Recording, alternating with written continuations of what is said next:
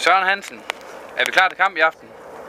Afrika, Afrika, det bliver bedre dag for dag. Hvad tænker du om kampen i aften? Øhm, jeg tænker, det bliver en lige kamp.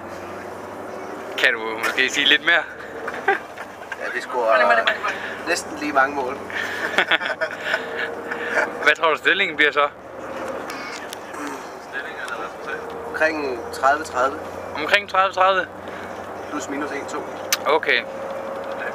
Hvad, hvad skal der til for at vi vinder kampen?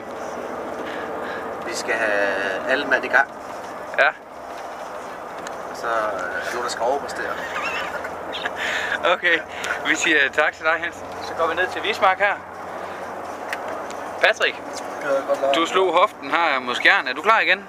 Vi tager lige hatten op, så folk kan se det. Sjovt job. Patrick, øh, Clausen sagde, at du skulle. Du kan også få et inter- øh, anonymt interview. Godt bruge det. Ja, dit det var rigtig godt. Så er det lige skabet. Ja, den igen. Patrick han er ikke så meget med på lejen.